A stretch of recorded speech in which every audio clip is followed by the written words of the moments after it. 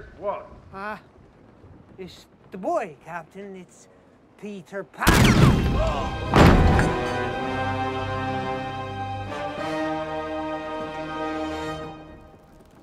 Never say his name.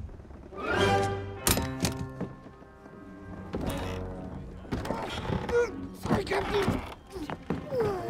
Mr. Smee! Smee. Make a note my cabin needs a new door. A new door, yes. Uh, right. Might I say, Captain, uh, that will be your third door this month. And it won't be the last. Where's my telescope? Telescope?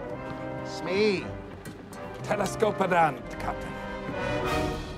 Speak not to me of hands, Smee. I see your point.